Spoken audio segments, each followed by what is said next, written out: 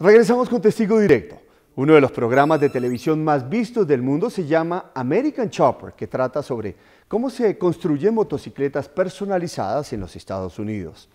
Bueno, aquí encontramos una especie de Colombian Chopper, un hombre que reconstruye motocicletas de la Segunda Guerra Mundial y que se la pasa de chatarrería en chatarrería buscando sus partes.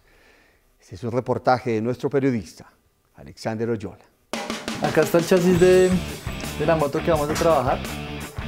Como pueden ver está eh, bien chatarrita.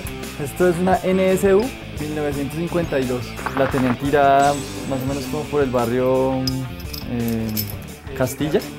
Lo ideal es sacarla y ponerla a funcionar. Que el testigo directo sea como el testigo de esa restauración.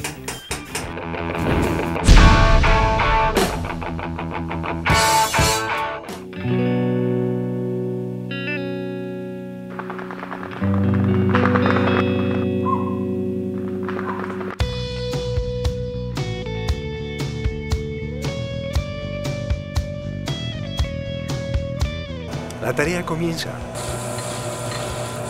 El entorno busca obtener un buje y un par de tornillos que se requieren. Piecitas que no se consiguen muy fácil en, el mercado, pero que pues, se pueden fabricar relativamente fácil en el torno.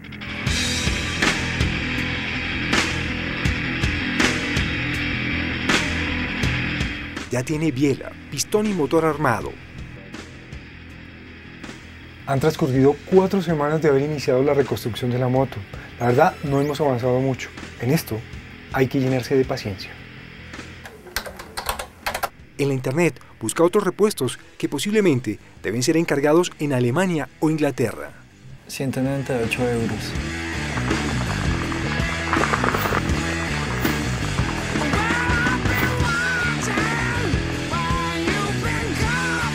Luego de días de búsqueda, finalmente ha contado con suerte y ya tiene el tanque.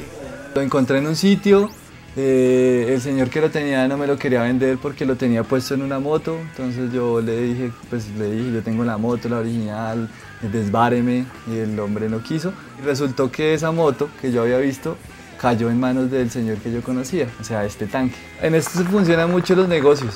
Yo necesito un cilindro, usted necesita una culata, entonces hicimos como un negocio y le encimé alguna, algún dinero y listo, ya quedé con el tanque. Necesita una serie de soldaduras para más adelante hacer la prueba, encender la moto.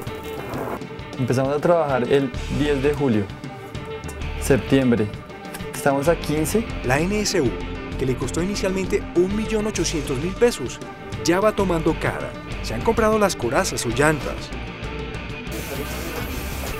Y ya, hay otra apariencia en el banco. La inversión hasta el momento, según la cuenta de Edison, va en 4 millones de pesos. Ya funcionando, puede estar en, un, en un rango más o menos de unos 15, 18 millones de pesos.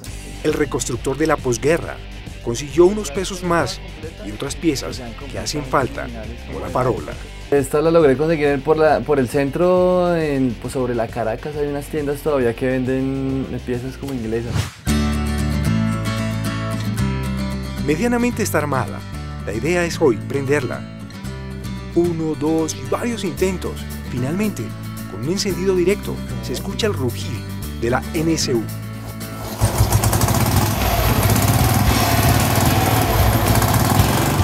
La tarea aún no concluye. Nos quedamos de ver en 20 días, fecha para la que esperamos estar rodando. Con todo en la NSU Alemana 250. Hoy es el último día que vamos a la casa de Edison para ver cuál es el estado de reconstrucción de la moto, día final.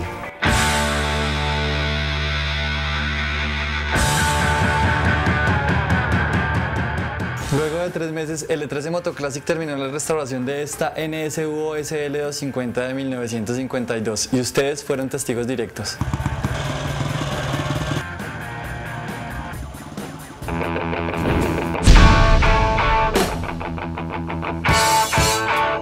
Bueno, con este Colombian Chopper hemos llegado al final de otra emisión de Testigo Directo. Quiero agradecerles por su sintonía e invitarlos a que ingresen a nuestra página web www.testigodirecto.com. Aquí pueden encontrar este y otros reportajes. Y recuerde, el mundo cambia y usted tiene que ser testigo directo.